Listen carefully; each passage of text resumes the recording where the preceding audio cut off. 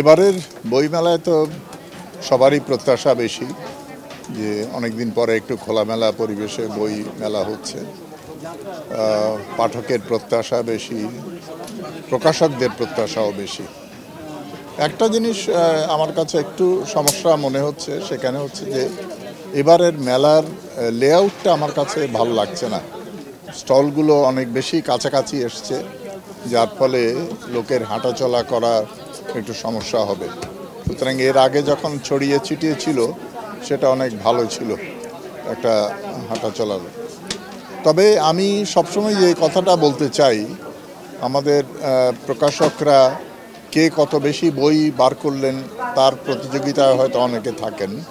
কিন্তু আমি বরাবরই মনে করি, সংখ্যা নয়, মানসম্পন্ন বই হচ্ছে সবচেয়ে গুরুত্বপূর্ণ। আমি একশো বইয়ের বদলে যদি দশটা মানসম্পন্ন বইও বার করি, সেটা আমি মনে করি খুবই গুরুত্বপূর্ণ কাজ। তাহলেই সামগ্রিকভাবে আমাদের বই প্রকাশের মানটা, বইয়ের মানটা উন্নত হবে।